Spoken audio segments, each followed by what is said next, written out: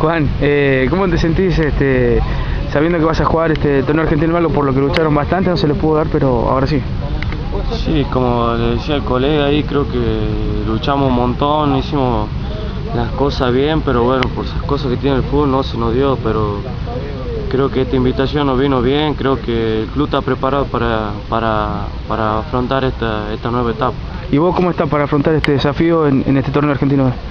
Bien, como, como cada campeonato nuevo que empiece, creo que estamos con las pilas full para, para empezar este nuevo proceso y ojalá se nos dé, se nos dé porque hay buen, hay buenos jugadores, buen grupo humano y creo que vamos a pelear arriba.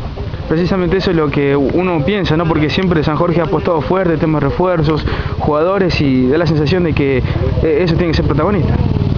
Sí, creo que sabemos que es un club que tiene pocos años de historia, pero sabemos que por, lo, por los nombres que hay acá, por, por las características de todo el jugador, creo que estamos obligados a pelear arriba eh, cada campeonato que juguemos. Bueno, muchísimas gracias Juan. ¿eh?